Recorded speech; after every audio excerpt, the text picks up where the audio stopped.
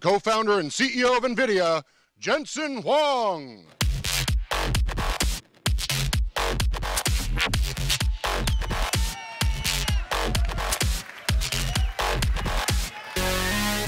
I love you too. I love you guys. Hello, Austin. It's great to be here. I can't, I can't imagine, I can't imagine a better place to hold this event than the premier, premier DreamHack in North America. This is the largest digital festival, as you guys know, in the world. Started in Sweden. This is a place where gamers, digital artists, and people who just love computer get together. We've got an amazing show for you guys today, and so let's get started. We've dedicated almost 25 years of NVIDIA to building computing technologies for the world's most demanding computer users. You guys know who they are.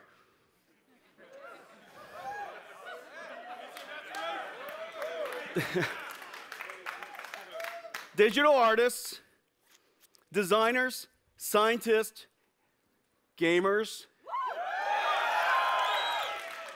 and dream hackers. And dream hackers.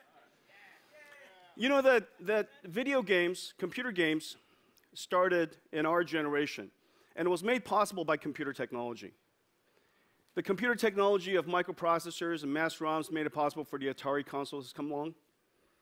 In the 80s, two fundamental technologies made it possible for the PlayStations to be created. First is custom chip design called ASICs, and the second is CD-ROMs. In the 90s, in Windows, with Windows 98 and Direct3D, it made it possible for us to start the PC gaming revolution that we know today. But what makes the PC gaming platform so special is that it's also open. So that technologies can come in and out of this platform, so that hackers, designers, engineers can continue to advance this platform, making it better and better all the time.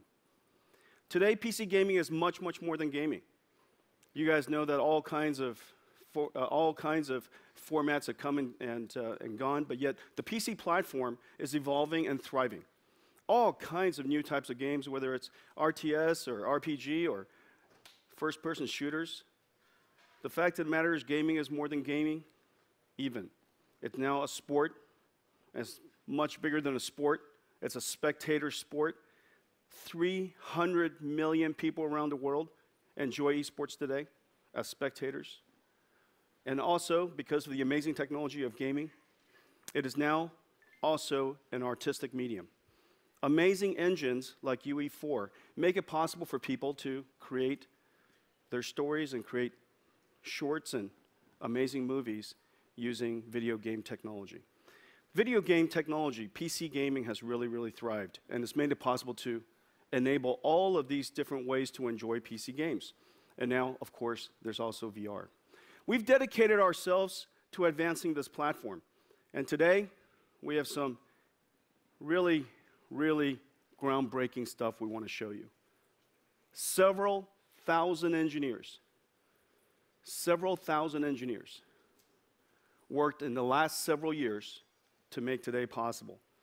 It is really amazing what they've done. Today, I want to talk about four things. Four fantastic things.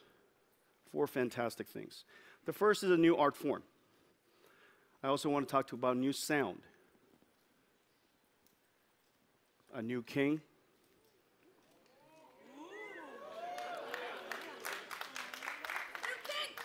a new king, and something really, really important. Something really, really important for the future of graphics.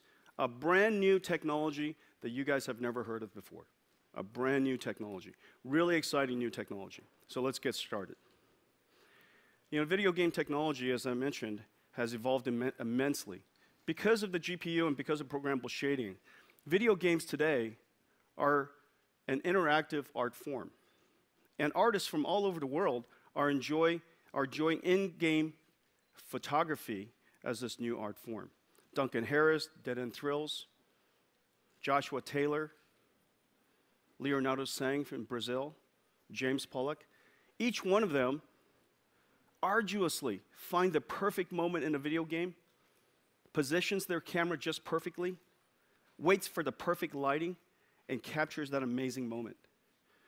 And what you get is this amazing, amazing palette. What you get is this amazing art form. The work that they've done is really, really quite amazing. I'm so touched by it. We decided that we would make this technology possible for everybody to be able to do.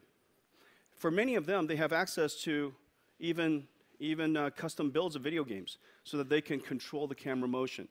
For us, it's really impossible. So, ladies and gentlemen, today we're introducing the world's first in game 3D camera system. We call it Ansel.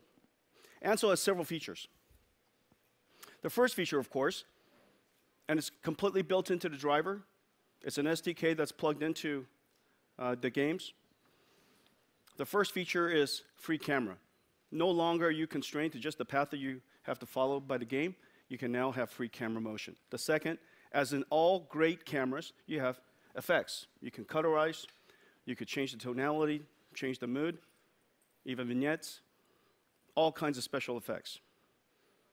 You can even dump out the EXR, 16-bit floating point of the frame buffer, so that you can ingest it into Photoshop and do all kinds of amazing special effects.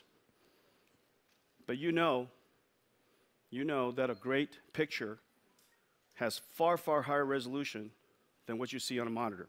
And so we can allow you now to render to 32 times higher resolution than your monitor, uh, than what you see on a monitor. So 4K, a thousand times higher resolution than 4K. That's essentially a thousand photographs. A thou- yeah.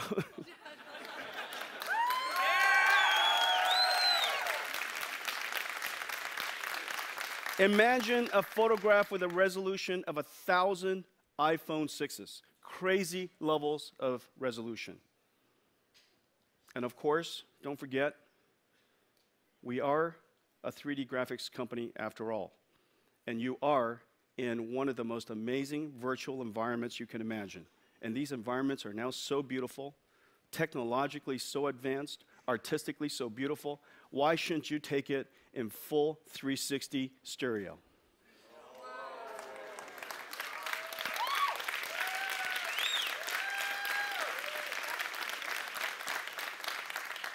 Imagine just with one click, and that click is no longer just print screen. You guys know what I'm talking about. I love this moment, hit print screen. I love this moment, hit print screen. No longer are you constrained to just that. All the freedoms of a di digital camera, all the special effects, the ability to use Photoshop, and do so much more. The world's first in game 3D camera systems. Let's take a look at that. Haldor, where are you? Yep, I'm Okay. here. So this game you've probably all seen before. This is The Witness, and it's a beautiful game. And as you're playing it, you'll often get into the situation where you just want to capture the moment. You know, what's on the screen, you want to turn that into a picture. Now, in this game, water is actually an obstacle, and for this specific shot, I would like to get actually over the brook. So the way I do that is I enable Ansel, which now allows me to move the camera in any way I want to. So I'm starting here to frame my shot. I'm going to move a little further back. And then I am going to tilt the camera a little bit for dramatic effect. Not too much, though, just a little bit. And then uh, I'm going to take the shot. But, you know, in this case, um, I'm going to crop it. And usually when you crop a, a picture, you're going to lose pixels. And if I just crop this as screen resolution, the end result would be too low resolution. So I'm going to change the capture type to high resolution. And as Jensen mentioned, the high resolution can go really high, as you can see here, 61,000 pixels.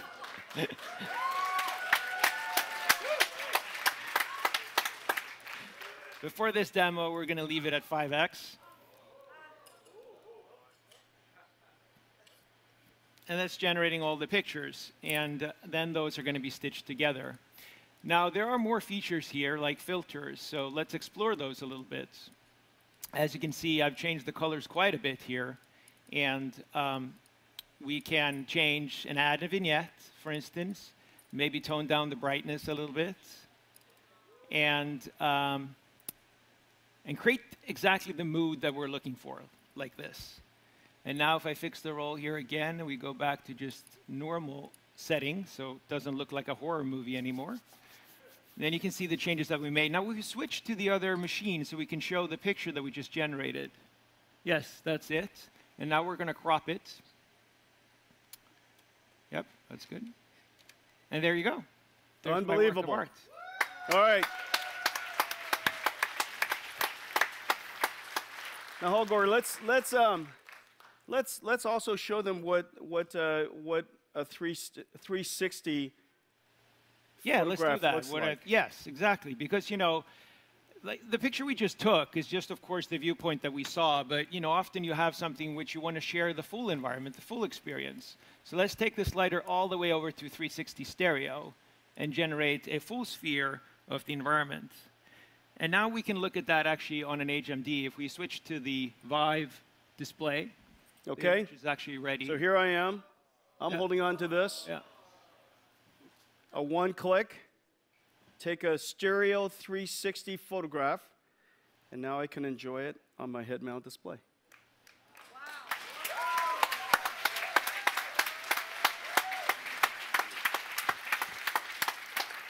Is this amazing?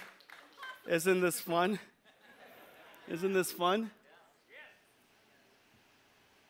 And you'll get to see you'll get to see your game like you've never seen it before. Look at that. Isn't that amazing? But you know what? We have an even even more popular way of enjoying VR. You know that people that th- these these are going to sell like hotcakes, but uh, you know that there's uh, there's a lot of people who won't be able to enjoy them with these head mount displays for some time, and so we thought, wouldn't it be great if we made it possible for you to enjoy it on your phone? And so.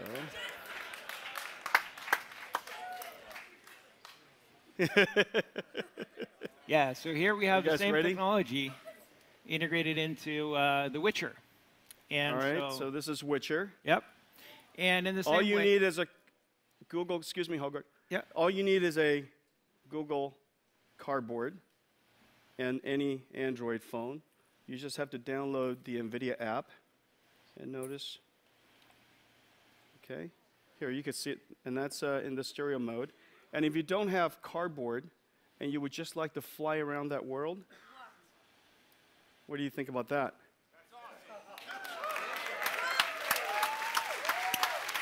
Is that amazing? Look at that. Look at that. This is just thousands of hours of fun. We'll just sit there and fly around our virtual game all day long. Share with your friends. Okay? NVIDIA Ansel.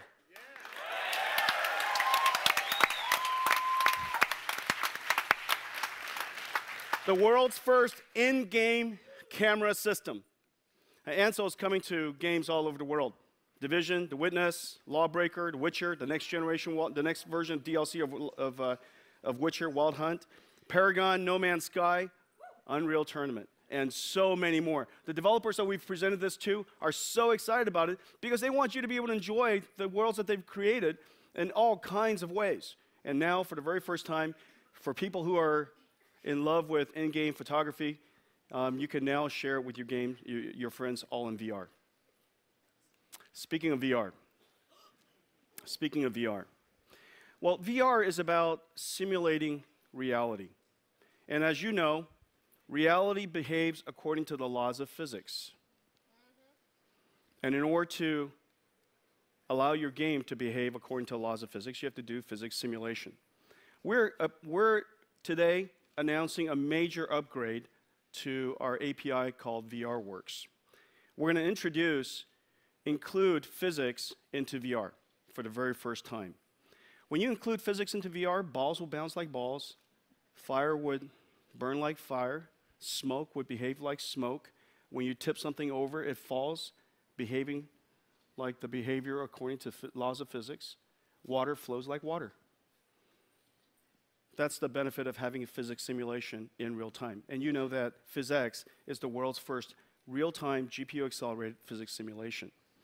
By connecting PhysX to your haptics controller, all of a sudden you have collision detection, and when you touch something, it vibrates. And so now the world interacts with you with physically based haptics.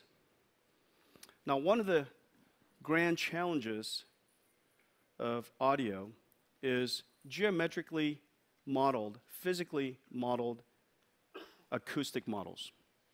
This is something we've been working on for quite some time. We're now today announcing the world's first real time, physically modeled acoustic simulator. This is based on our engine called OptiX. OptiX powers our GPU accelerated physically based ray tracer called Iray. And so today, using the same technology, we've been able to bring it to audio processing. Now, you know that today's conventional audio basically works, uh, it could be positional, but it's directional. Audio comes, the sound comes directly from that, whatever that direction is, but it doesn't interact with the environment that you're in. We know very well that sound propagates through waves, and the waves depend, behave, bounces off, uh, gets absorbed by, gets occluded by the physical structure we're in. Doing that physical simulation, physically based simulation, takes an enormous amount of computation. We created an engine that runs on top of the OptiX API that runs on top of our GPU. For the very first time, we're able to do this in real time so that we can simulate each one of the environments in an acoustically accurate way. So now, when you're moving into a hall in virtual reality, it sounds like a hall. When you walk into a hallway, it sounds like a hallway. When you walk into a stadium, it sounds like a stadium. When you walk into an atrium, where you have hallway on one side and the atrium on the other side, it sounds according to that. The simulation model is all computed in real time. One of our GPUs can compute thousands of these rays bouncing all around these environments, accumulating it, and turning it into a convolution filter. That filter is then applied to each one of your ears, to the audio stream that you hear, and as a result of that, you hear VR sound. I can't demonstrate it to you guys because you're not in VR. Okay? We are already enjoying reality at the moment. So everything, everything where it occurs, every, that's right, that sucks. we are, did you say it rocks or it sucks? VR, VRWorks Audio, the world's first physically based acoustic simulator engine. Okay? Amazing.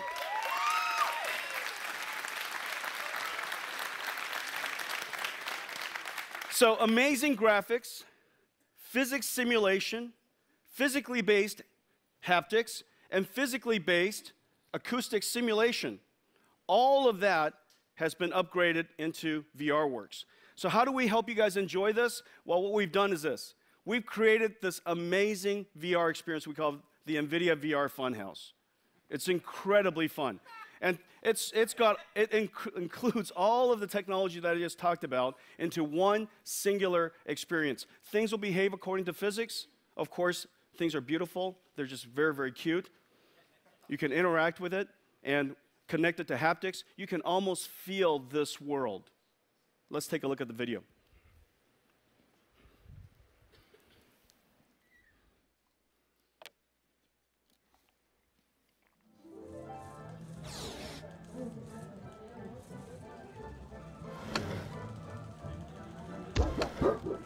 Guys have to try that. You can go touch it.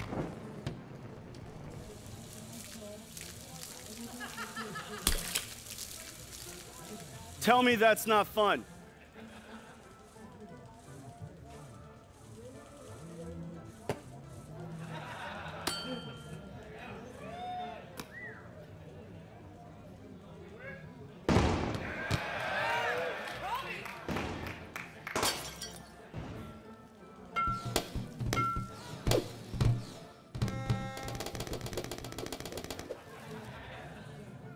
Notice the balloon pops. But the amazing thing is the balloon actually moves when you touch it, and when it touches other balloons, it causes other balloons to move. When you pick up a basketball, that basketball, when it touches other basketballs, instead of moving into the basketball, merging into the other basketballs, they actually touch the other basketballs and everything all move together.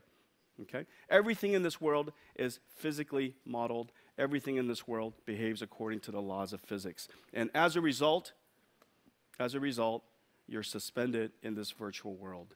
So the second announcement today is a major upgrade to the NVIDIA VRWorks to include a whole lot of physics, physics simulation technology. And one of the major upgrades is VRWorks Audio, the world's first physically based acoustic engine.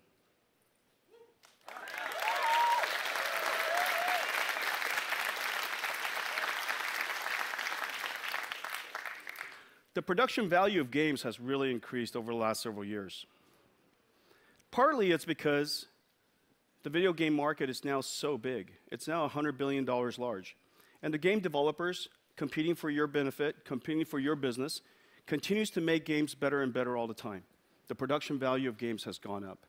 But recently, in the last several years, a second factor has really turbocharged it. And that second factor is the fact that all of the game platforms in the world, game consoles and PCs, are now based on one unified architecture, one basic architecture. It is all exactly the same architecture as a PC today. Instead of fragmented architectures, where it's impossible for game developers to overinvest in any single platform, and they have to dedicate a lot of their engineering to porting games over and over again, now they have one single platform they can focus on, one single architecture essentially to focus on. As a result, the production value of games has gone up dramatically, and you can really see the difference. The games that we're seeing now, the technology is really quite spectacular. They're just so beautiful physically based materials, photogrammetry. Using photogrammetry technology, they're able to essentially take photographs of the world, reconstruct it into 3D, and turn it into a video game. Atmospheric lighting, particle effects, incredibly large worlds, really, really rich geometry, ray trace shadows, soft shadows, high dynamic range lighting. The games are just so beautiful today. Let's take a look at some. So this is the first one. This is Tom Clancy's division from Ubisoft. I mean, I, you would think that you're walking downtown New York. Okay, maybe 10 years ago. It's cleaner now. The snow looks like snow. The snow falls like the snow would. The materials are physically based, and that's why they look so realistic. The animation is fantastic. The amount of geometry is just enormous. High dynamic range. You would think you're looking at a photograph. And so imagine, imagine doing Project Ansel, NVIDIA Ansel on this, and you can capture all kinds of beautiful moments. Okay, let's take a look at another game. This is uh, Lara Croft. Lara to all of us. We know her by her first, first name. This is Tomb Raider physically based modeling of materials. The geometry is so rich, based on photogrammetry, high dynamic, high dynamic range lighting, volumetric lighting. You can see the, the, the light pierce through the atmosphere. It's just really, really beautiful. Just the ama amazing amounts of detail that we see in games today. Let's take a look at another one. This is Electronic Arts, Mirror's Edge. Look at, look at the way the reflection is working off of the floor. You can really sense, sense the roughness on that floor and the polish, the, I guess the ripples and the polishness of that floor. They're everywhere these days. The lighting is just beautiful. The indirect lighting is amazing. Now you're outdoors, you got high dynamic range. The reflections in this game is particularly amazing. Real-time environmental reflection off of the water. And this is how they do it. Okay? That's terrific. Thank you. So,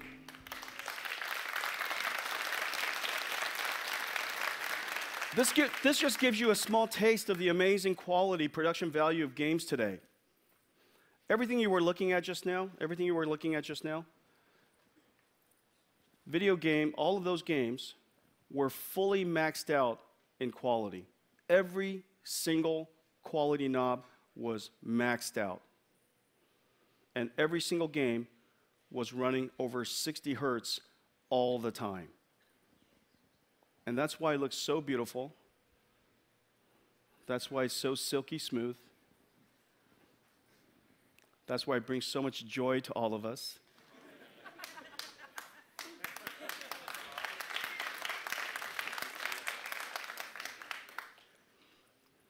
Just makes you smile, doesn't it?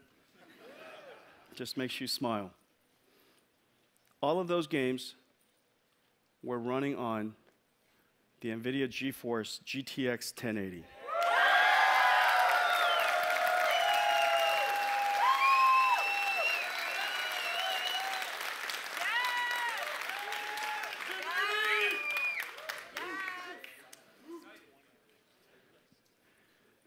No sweat, nice and easy. Everything silky smooth. Also butterily, buttery smooth. So beautiful. Just makes you happy. It's hard not to be happy. It's hard not to smile when you look at that. Just brings me enormous amount of pride and joy. Look what my kid can do. so effortlessly, just like that. well, let me tell you about this chip. This chip is based on a new architecture we've been working on for several years. Several thousand people have been working on this project now for more than two years. This is the largest GPU endeavor, the largest chip project endeavor, the largest processor endeavor in the history of humanity. The R&D budget was several billion dollars. several billion dollars. I am pretty sure you can go to Mars.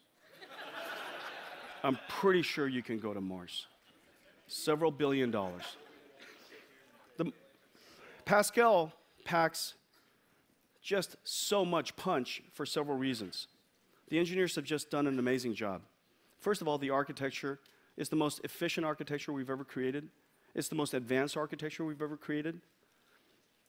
And I'm going to show you some amazing new technology that you've never seen before. It's the world's first 16 nanometer FinFET GPU in production.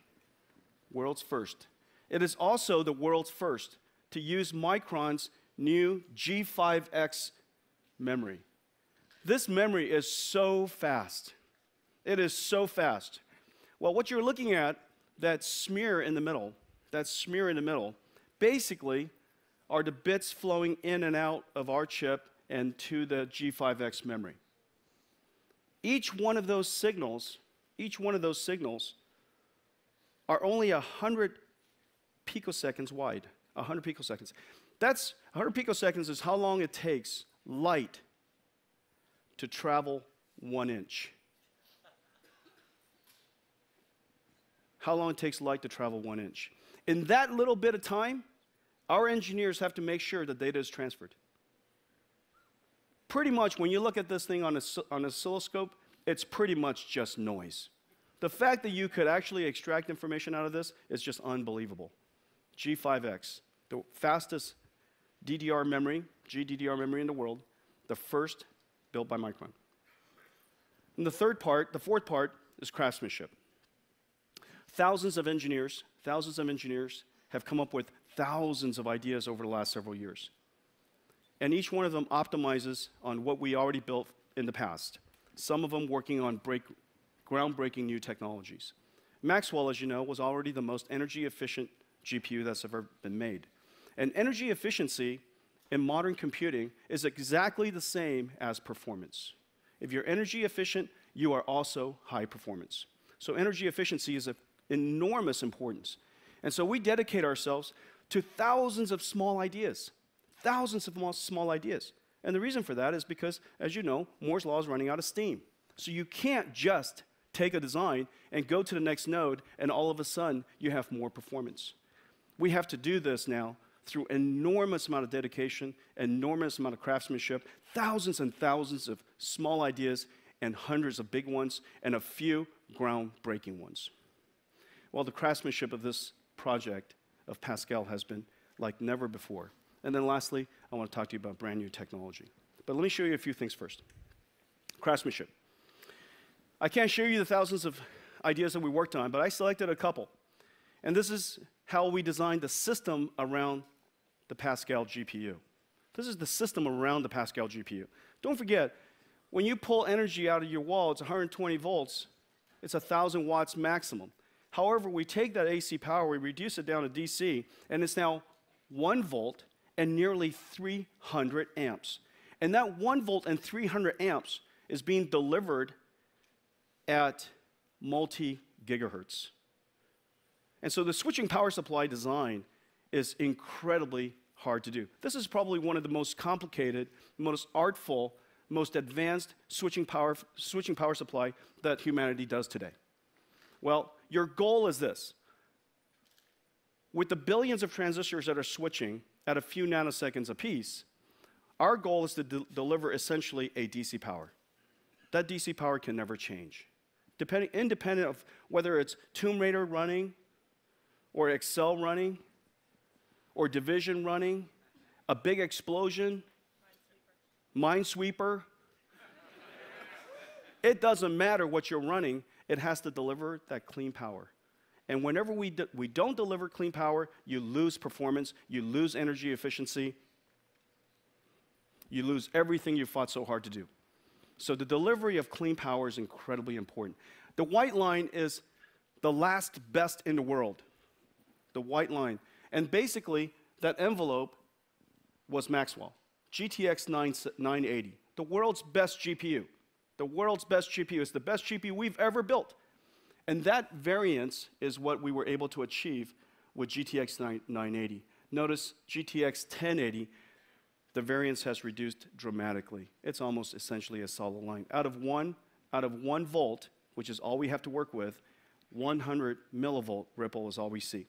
The second, we want to deliver that efficiency, that level of power, that level of current across the entire operating range of our GPU. Don't forget, these things are running incredibly fast. And it's asked to burst into a level of performance almost instantaneously because as soon as you turn around, maybe, maybe you were looking at a nice, quiet, gentle brook, and you turn around and there are 10 monsters coming your way, and you got to fire back immediately. Well, the amount of graphics processing that changed all of a sudden is instantaneous and enormous. Well, we have to deliver clean power and efficiently as long as we can, all, all throughout that entire, entire experience. And so notice in the case of GTX 980, our efficiency it was excellent. However, the 1080 took it just another level. Well, what do you get from all of that?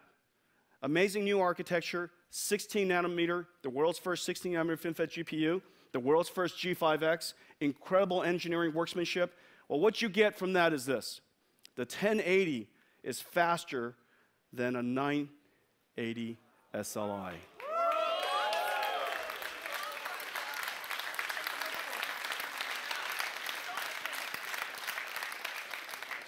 Ten eighty is faster than 980 SLI. But a 1080 is way faster than the fastest in the world today. The 1080 is even faster than a Titan X. And you got to ask yourself, right? How much faster? How much faster? Unbelievable amounts. It is utterly insane. It is insane. The 1080 is insane. It's insane. It's almost irresponsible amounts of performance. When all of it came together, when all of it came together, let's face it, we designed it to do that. We wanted it to do that. We invested billions of dollars so that it could do that. But you still know when the kid graduates and it does something amazing, it still brings you enormous amount of joy. Just so happy. I'm just so happy. Look at that. GTX 1080. It's faster than the Titan X. Not by a little bit, but a whole lot. And with so much less power. Well, basically, what this says not only is 1080 the new king, the Pascal family is going to be pretty amazing. So the question is, what are you going to do with all this? Well, the first thing you're going to do with all this is you're going to enjoy every single game on the planet in its full, maximum, tricked out configuration. And you're going to enjoy it nice and silky smooth. And you're going to smile all the time. You're going to have a dumb grin on your face like mine all the time. Where's your dumb grin? all the time. All the time. But what else can you do? What else can you do? Well, we have a real we have a special treat. I I just I love this man. We've been together, we've been working together now in our industry for a quarter of a century. Few, few have made a greater contribution to the advancement of the technology and the art of video games than this man. Ladies and gentlemen, please welcome Tim Sweeney.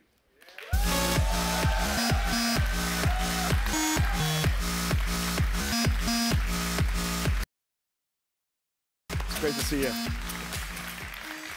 Now, you don't get an introduction like that every day, brother. Yeah, it's- Paragon. What is Paragon? I don't know what you. Th- wait, I don't even know what you're talking about. I don't. Are you? Are you? Are you? Are you one of the early, early adopters, early uh, previewers, game testers of Paragon? All right, you demand. All right. So, so, anyways, um, we could talk about all kinds of stuff. We could spend here. We can. We can talk all night. And, and then tonight, after after this, we will talk all night. I mean, there's so much that's happening in the game industry. I mean, one of the first things, of course, uh, 25 years ago when we first started both of our companies, uh, and we were trying to bring uh, revolutionize gaming with PC gaming. Uh, there was a lot of technology to, to create. There were, there were a lot of issues in the, in the industry, but we worked through an enormous amount of it. So the, the one thing that you and I really, really share and is our belief that the PC gaming platform is an open platform is one of the reasons why innovation happens. You know, could, could you, uh, what do you think about that? yeah, absolutely. You know, it's the openness of the PC platform that's made it uh, the center of innovation for the entire technology in industry for at least 30 years. Um, the GPU revolution um, started right here on PC uh, before uh, DirectX even um, with OpenGL and its predecessor libraries.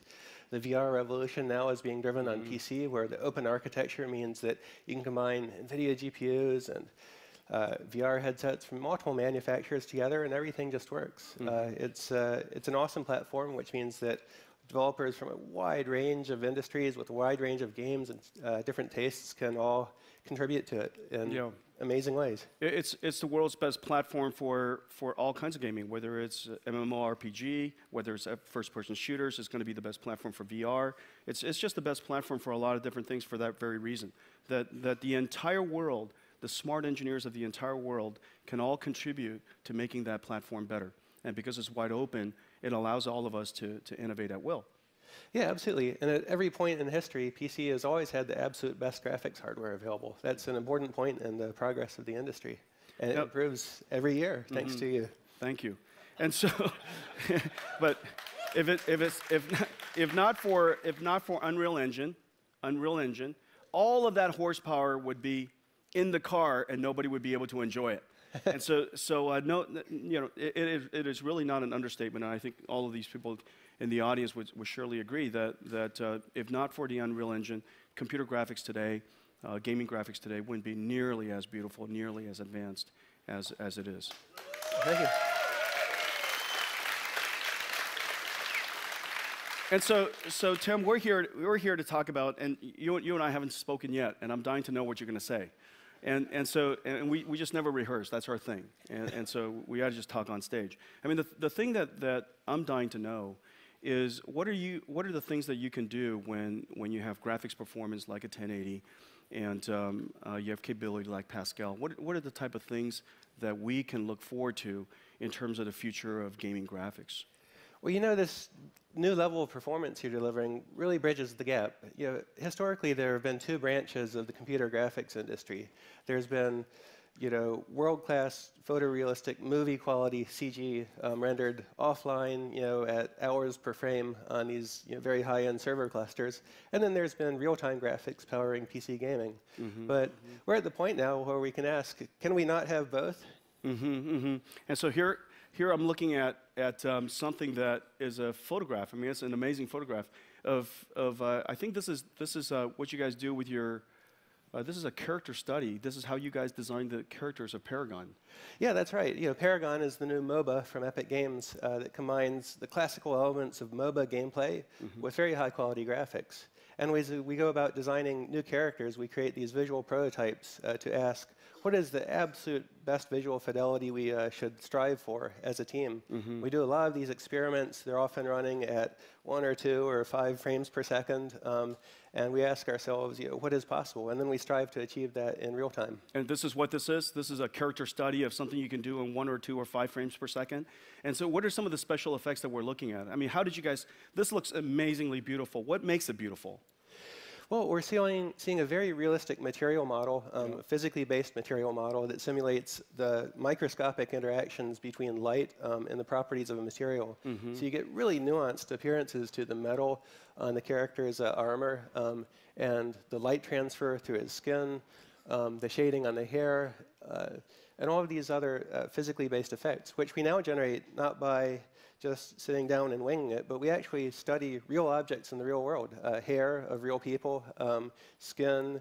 We go out with photogrammetric um, you know, utensils, you know, little light meters, um, and all sorts of other devices, and actually measure the real world.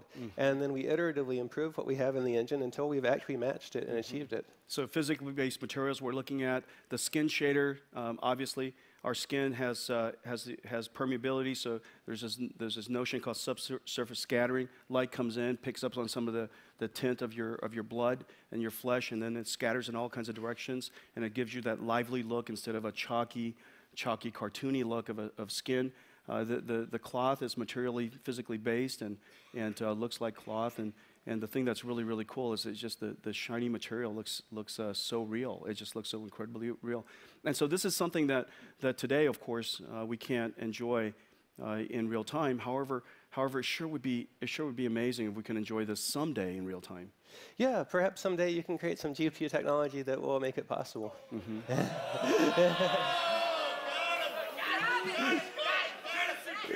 You know, guys, I, that, that is, that's a challenge. I think that's a challenge. That's a challenge. Mm-hmm. And, you know, Tim, Tim, I would like to just tell you that someday has arrived.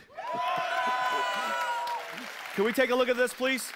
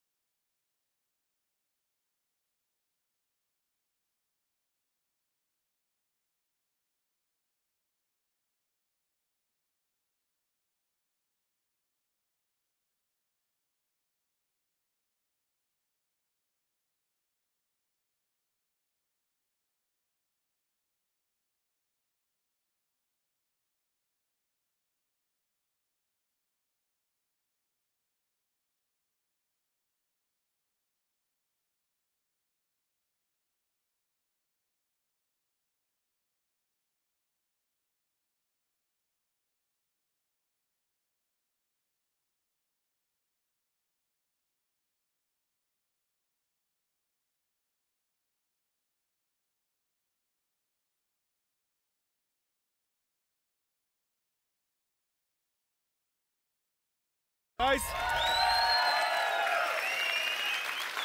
what do you think? Now, I hope you guys realize, I hope you guys realize everything was running in real time. That was not a movie. That was computer graphics generated in real time, courtesy of the amazing team that Tim leads at Epic. This is the future of graphics available today. Available today. That's, thank you, Jeff. Thank you, team. Good job, Tim. So amazing, so amazing. Hey guys, you know, just just for kicks, just for kicks, let's take a look at some of the clocks. Can we? You guys want to take a look at the clocks? It's up there. Can you guys see it?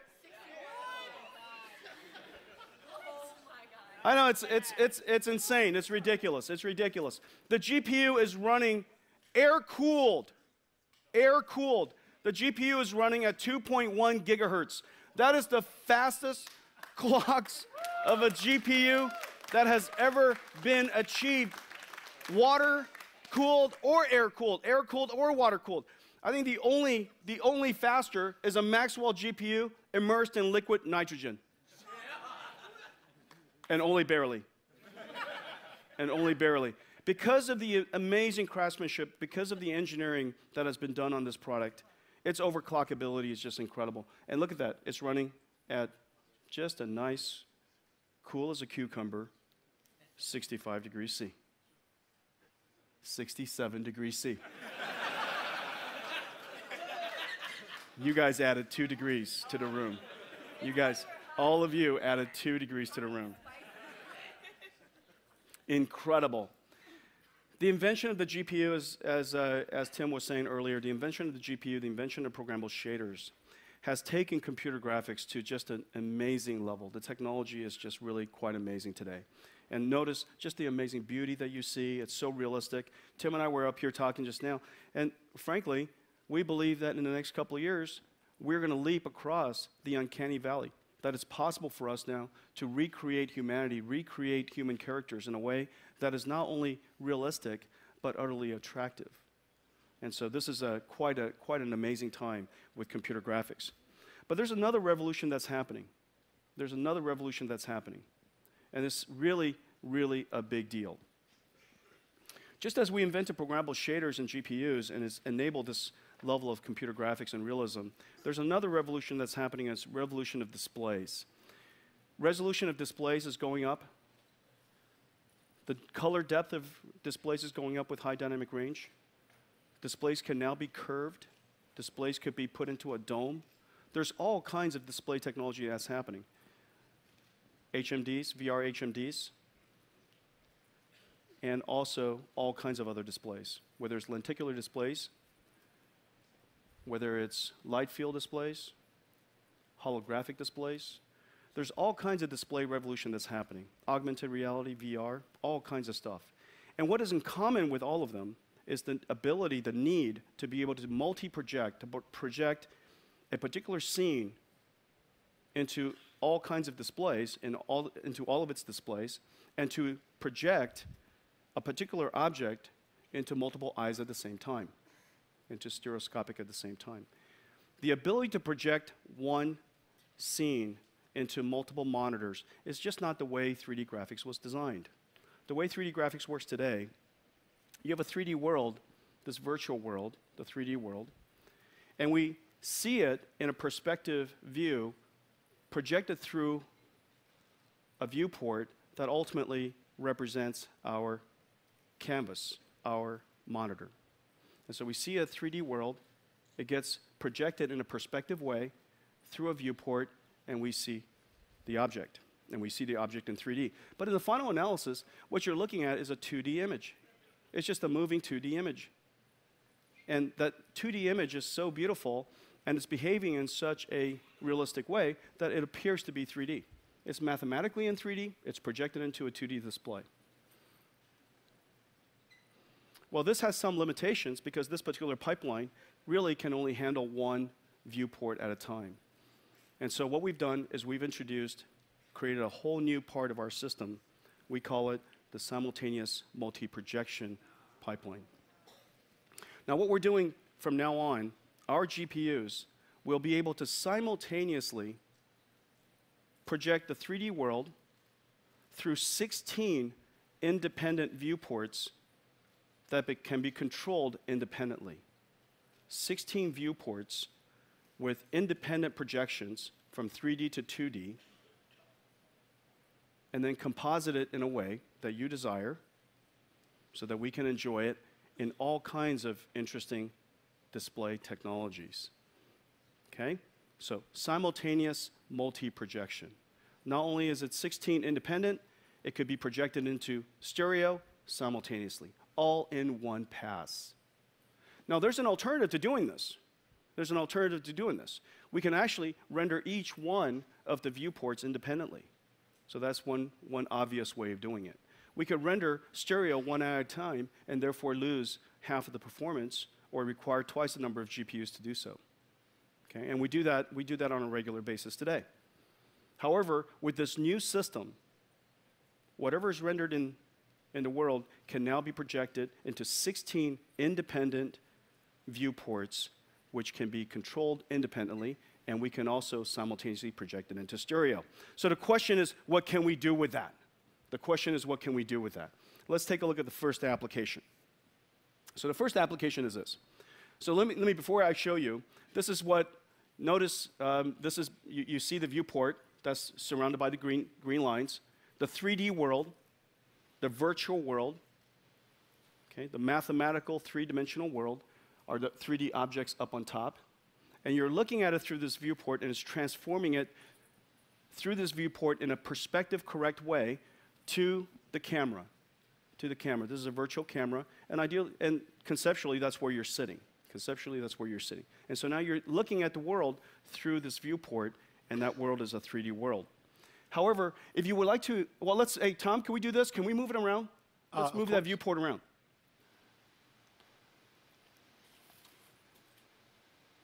Okay, so that basically, that's how it works.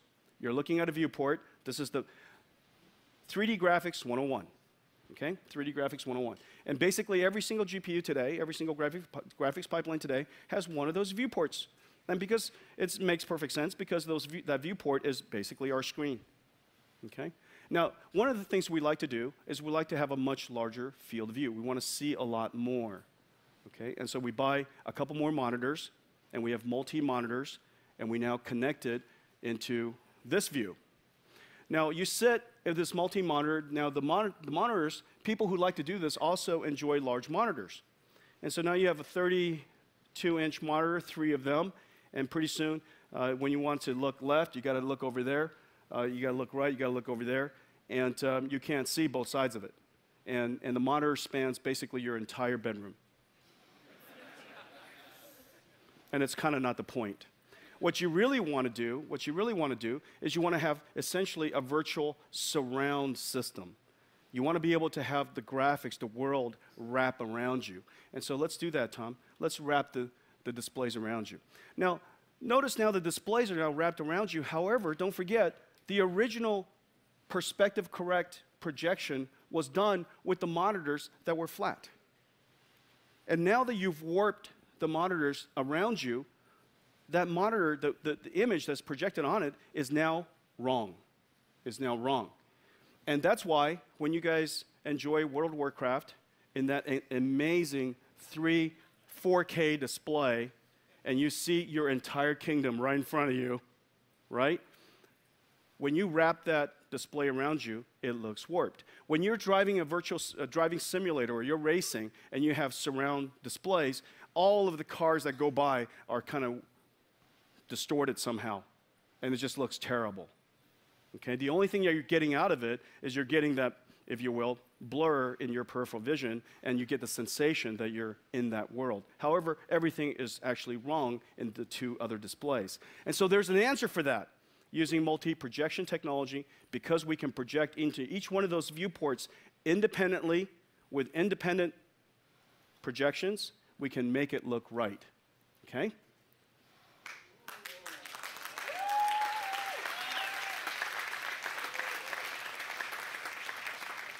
Now, there's a solution for this today.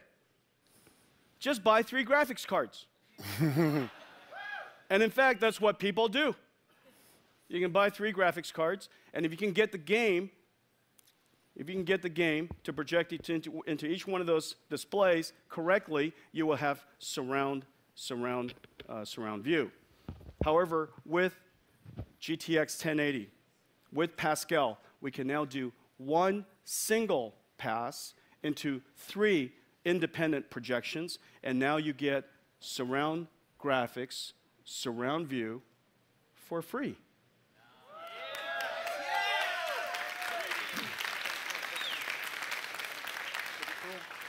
And I can't imagine a better price than free.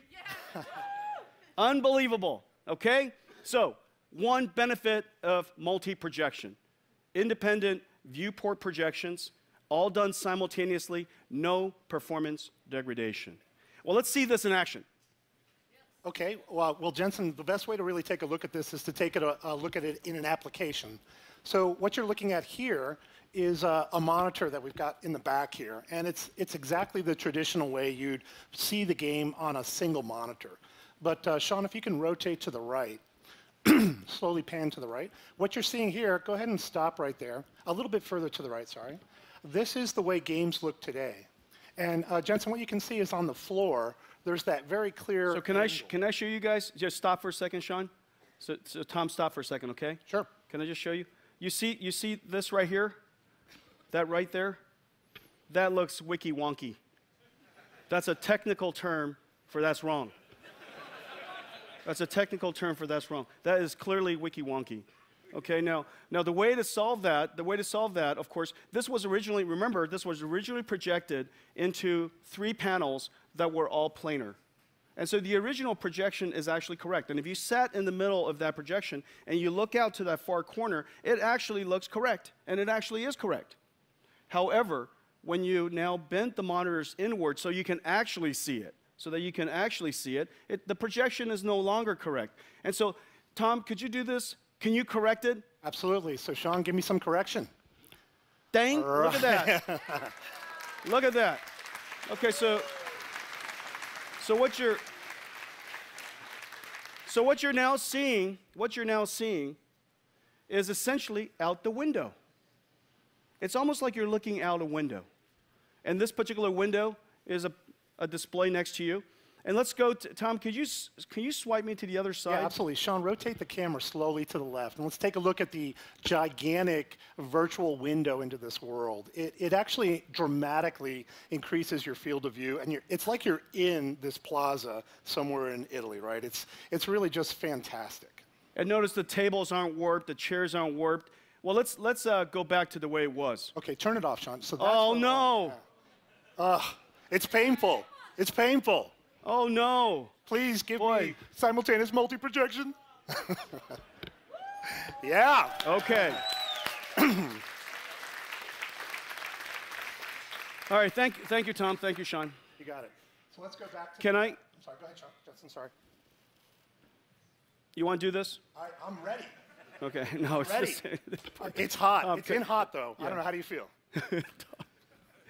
Tom, we talked earlier. Remember? it's pretty exciting, though. I, I, I, get a little goosebumpy when I look at it.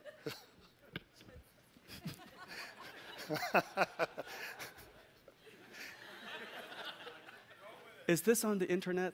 all right, all right. So, so Tom, Tom, I, know what you, you, I know you know what you're looking at. Tom, yeah. Fish, is it me or, or is it? Can I, can I just, Tom? Yeah. Could I do this for a second? Yep. May I just finish? Got him. Absolutely. All right, all right, thank you. All right. So, so, where, where, what is this? What, what, what do we have? Can, can we go back to the original slide, please, Tom? Please? The original slide? The way, the way, go back to the slide. The slide. Um, okay, so now we have we have. Uh, Tom, you do it. What's that? Okay, so uh, let me just explain what I, th I, think we're looking at here. This is VR, and in VR, uh, you actually have. Tom, I was being sarcastic. Oh, I wish I could see your face. I, I bet it's not happy.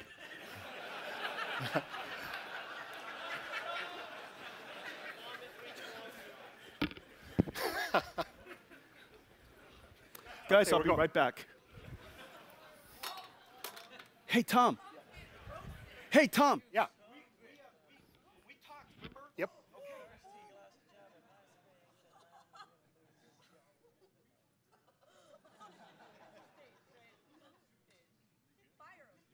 No, no, he's, my, he's my best guy. You should see some of the other guys.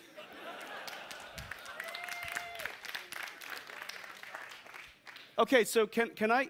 So, so we saw we saw multi-projection into three displays, and the fact that we could we could display uh, into those project into the three three displays, three viewports, and be able to independently control them allows us to fix the warp, the distortion that otherwise would have existed. There are other other ways that we could use simultaneous multi-projection. So, for example, if we're in in um, in VR, okay, can we, if you can just go to the VR but don't do anything please. Tom, if we can go to the VR configuration, but please don't do anything. No, not. Well, how's this? Without the lens, there you go.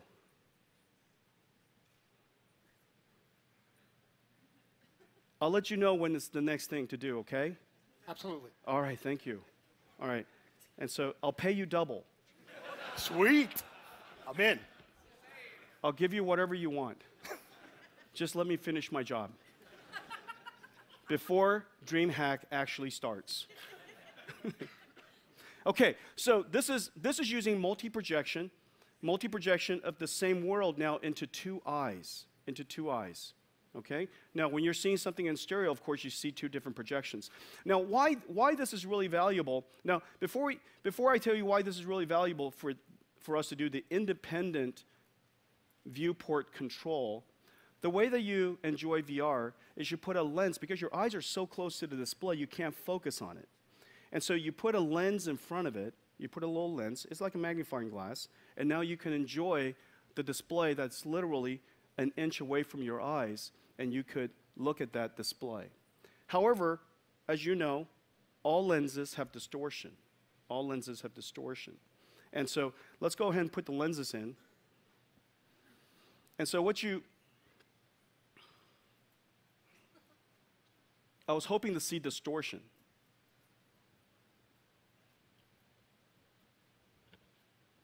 Tom and I didn't rehearse this, which, which, which I think is apparent.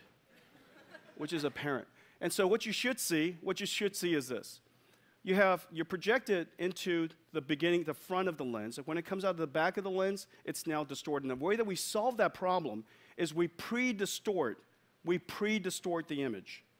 We stretch it out all really far on the edges. We pre-distort the image. Then now when it goes into the lens, when you look at it, it actually looks right.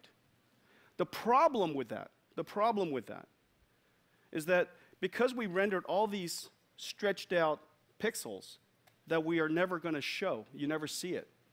We rendered it for nothing. We wasted a whole lot of performance. And you know that it is so difficult to achieve performance at all in the first place with VR.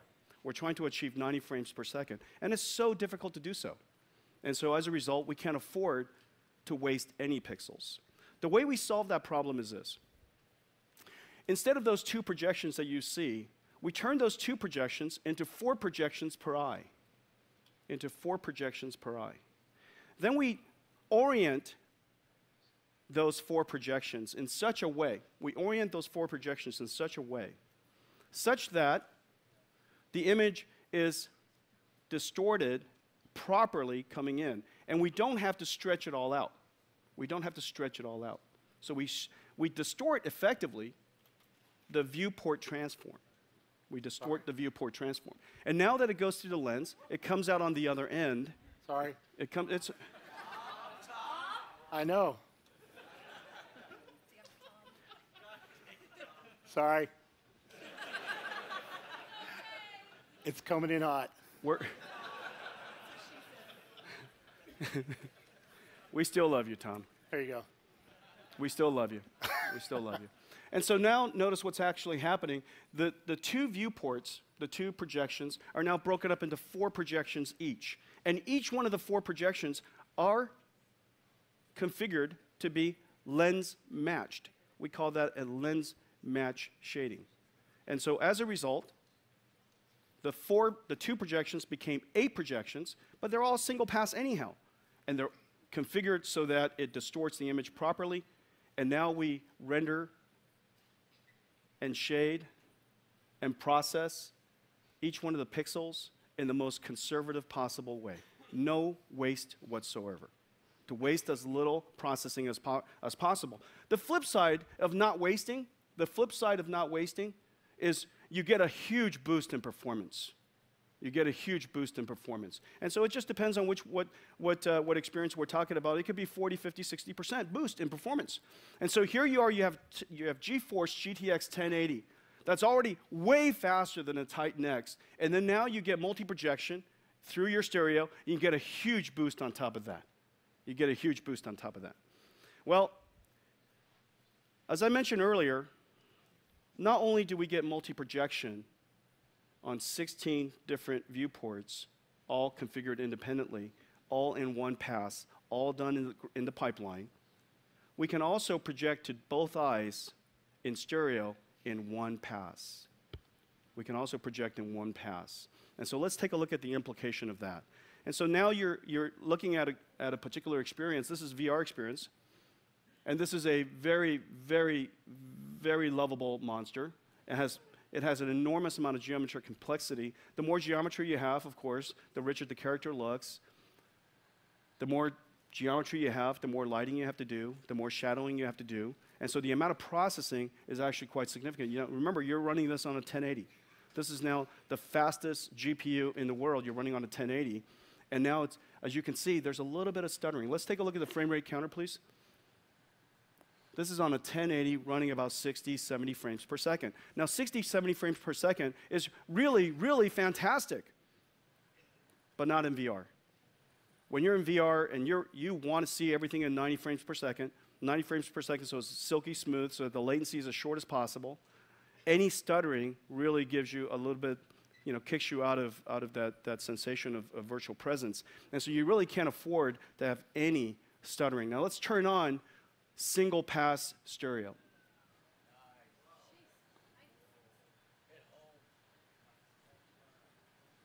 Let's just enjoy this monster. Let's.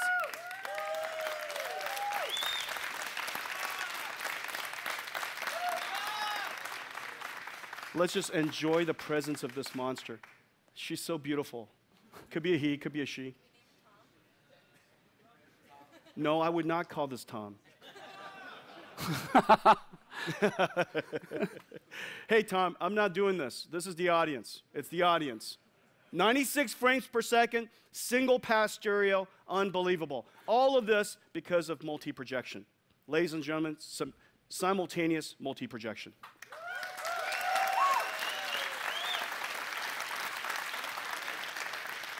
All kinds of interesting displays coming out.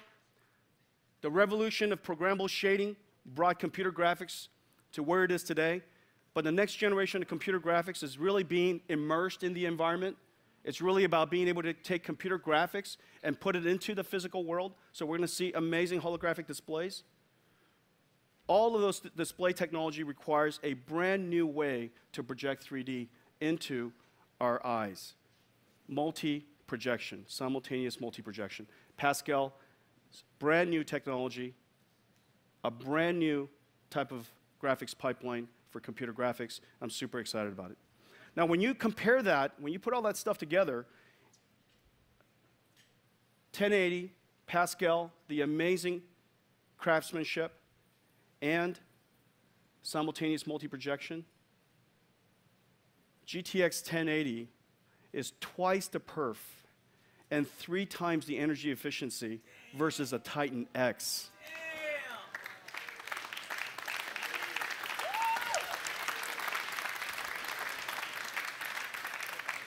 Twice the performance of a Titan X, three times the energy efficiency, and crazy amounts of overclockability. Just crazy. That is the GTX 1080. We're so proud of it. I'm so proud of all the engineers that have made it possible. We made a small video for you. Let's run it.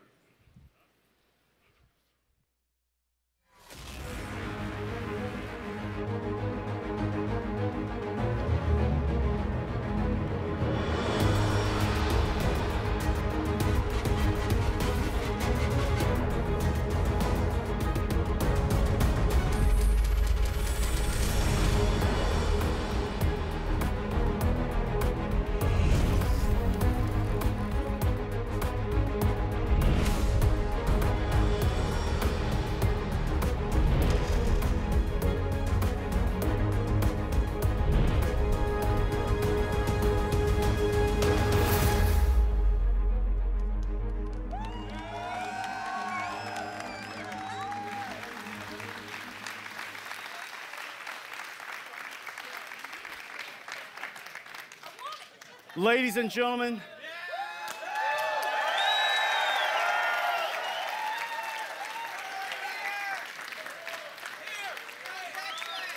the new king, GTX 1080.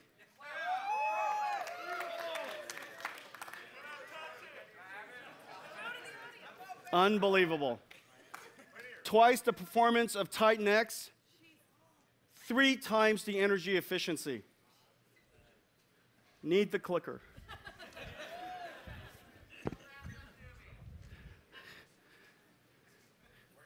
Everything's going so smoothly tonight, everybody. Unbelievable. Twice the performance of a Titan X, our $1,000 flagship product today. 1080 is twice the performance and three times the energy efficiency. Ladies and gentlemen, the GTX 1080.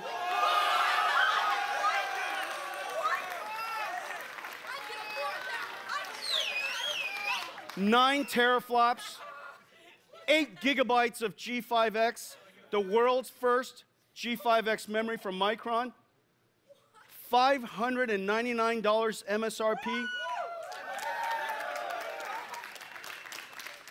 The NVIDIA designed Founders Edition, 699, gives you crazy overclockability, amazingly beautiful design. I hope you love it. Twice the performance of Titan X and three times the energy efficiency. General availability around the world, May 27th.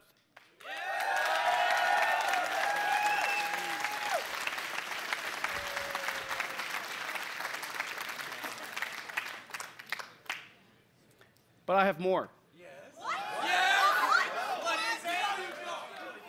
GTX 1070.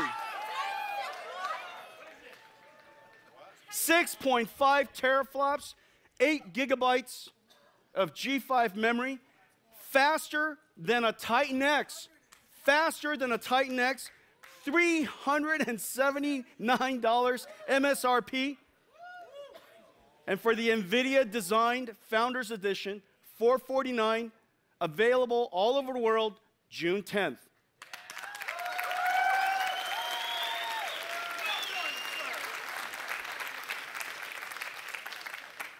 The best, best GPU architecture we have ever created, the best GPUs we have ever designed.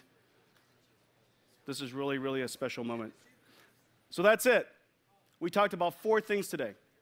Our mission, our mission is to build computing technologies for the most demanding users in the world. For gamers, for designers, for artists, for scientists, for dream hackers. Today, we're so happy to take it to the next level. This is the work of several thousand engineers, almost 3 years, billions of dollars of R&D, and we announced four things. The world's first in-game camera system. Do you guys love it? NVIDIA Ansel. A major upgrade to VRWorks, major upgrade to VRWorks, including physics, including physics-based haptics, and very importantly, the world's first real-time, physically modeled acoustic simulation engine, VRWorks Audio. The second announcement, VRWorks major update. And so that we can all celebrate and enjoy it, we've created a VR experience. It's going to be available on Steam, and we're going to, as soon as we uh, release it, we're also going to open source it so that we can all make it amazing.